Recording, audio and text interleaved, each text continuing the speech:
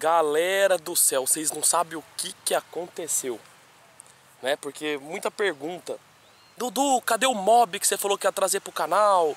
Dudu, mas que barbaridade, por que, que você ainda tá com esse Cronos? Galera, eu vou contar pra vocês o que que tá acontecendo, tá? Uma coisa, na minha opinião, muito inesperada, difícil esse tipo de coisa acontecer com as montadoras, esse meio automotivo, né, galera? Mas eu vou contar pra vocês o que que aconteceu, tá?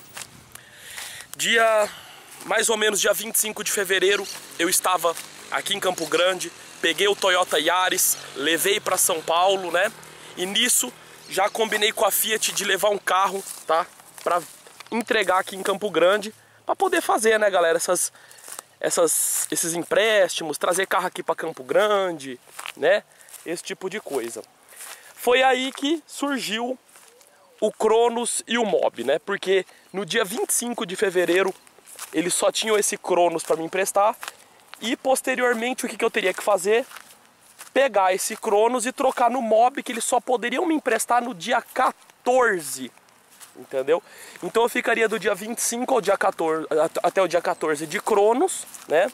E aí depois eu trocaria no mob e voltaria para Campo Grande com o mob e aí entregaria o carro aqui em Campo Grande, né galera? O que que aconteceu?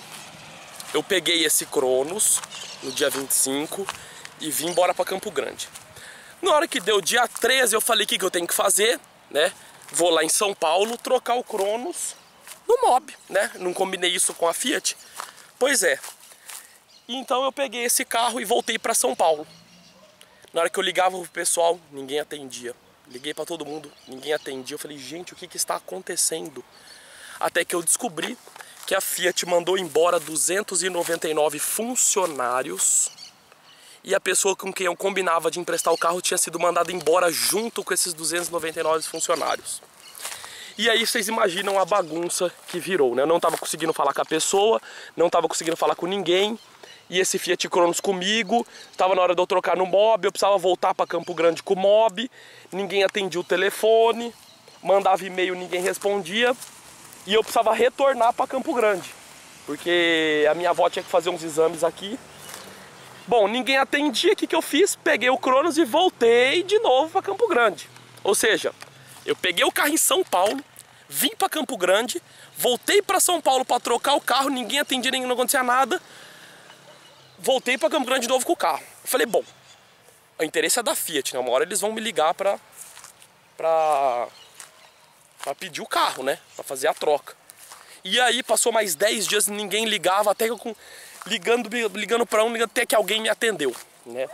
Na hora que essa pessoa me atendeu, ela explicou que tinham mandado embora, que eles não estavam dando conta de de surpresa, sabe que eles emprestam muito carro. Você imagina que tem muito jornalista pedindo carro, aquela confusão.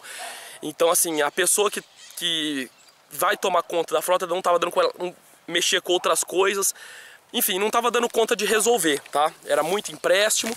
E aí, para terminar com chave de ouro, eles estavam mudando a concessionária de lá de São Paulo que eles emprestam carros, estavam mudando de concessionária para uma outra concessionária. Então você imagina eles têm que levar todos os carros, acho que se eu não me engano eles têm mais de 400 carros no negócio assim, não sei. Depois eu posso até pesquisar e me informar direito, mas se eu não me engano é tipo assim, um absurdo de carro que eles têm. Você imagina levar todos esses carros para outra concessionária e nesse meio tempo eles não estavam emprestando o carro e eu aqui em Campo Grande com o carro, né?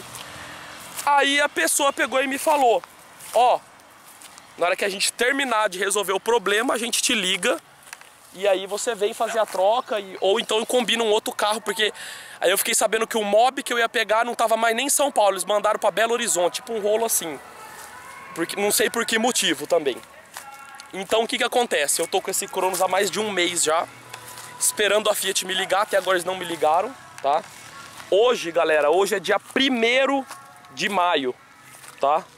Dia 1 de maio ou 1 de abril, nem lembro, mas acho que é de 1 de abril que hoje, acho que hoje é dia 1 de abril, galera. Deixa eu até ver aqui no meu telefone. Eu vou mostrar pra vocês o que que aconteceu. Então eu tô aqui com esse Cronos, tá? Não, hoje não é nem dia 1 hoje é dia 31, galera. Tô variando. Então eu vou mostrar aqui a agenda pra vocês. Hoje dia 31. Eu peguei esse carro dia 25 de fevereiro. Foi o dia que eu peguei esse carro. E aí, galera, deixa eu até desligar esse negócio, que esse negócio tá fazendo barulho aqui, eu me irrita. Eu peguei esse carro dia 25.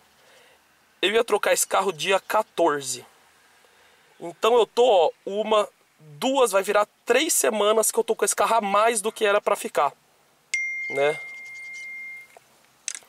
Então, uma bela confusão aí. É por isso que eu tô com esse carro até agora, né? Vocês estão perguntando, por que você tá com esse Cronos até agora? Devolve esse carro, mas não é assim, eu tenho que devolver esse carro em São Paulo, a menos que a Fiat me dê uma autorização para me devolver ele em Campo Grande. Mas para a Fiat não tem interesse em esse carro ficar em Campo Grande, porque a Fiat já mandou três Cronos para Campo Grande. Já mandaram, eles mandaram, colocaram na cegonha e mandaram para Campo Grande.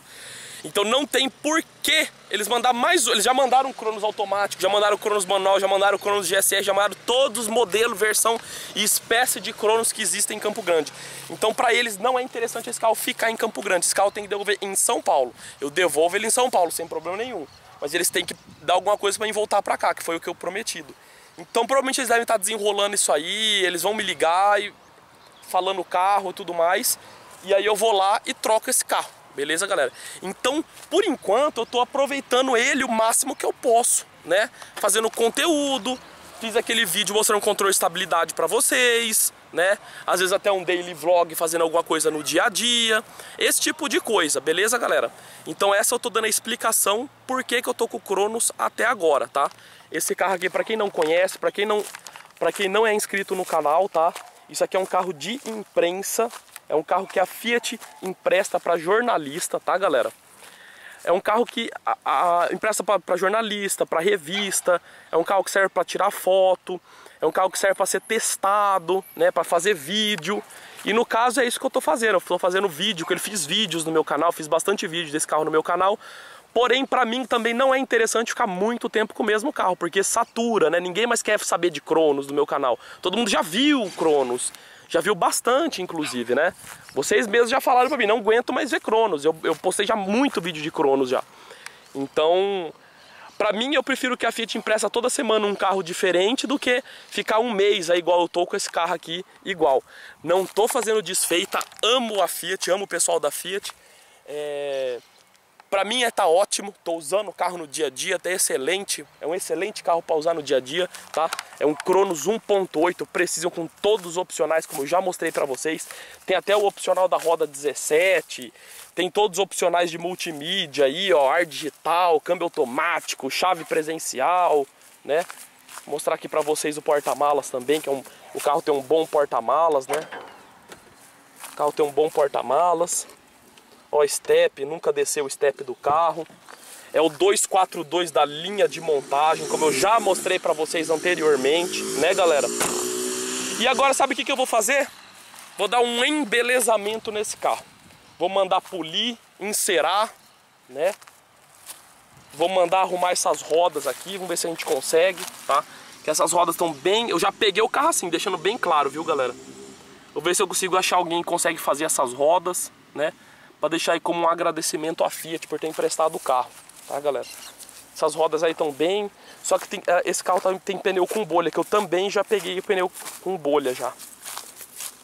Aqui ó, tem uma bolha bem aqui, né, então isso aí não dá pra mim fazer, que deve ser bem caro um pneu desse aí, eu já vou descapitalizar de baixo se eu trocar pneu do carro. Isso aí eu vou deixar pra eles fazer mesmo, né.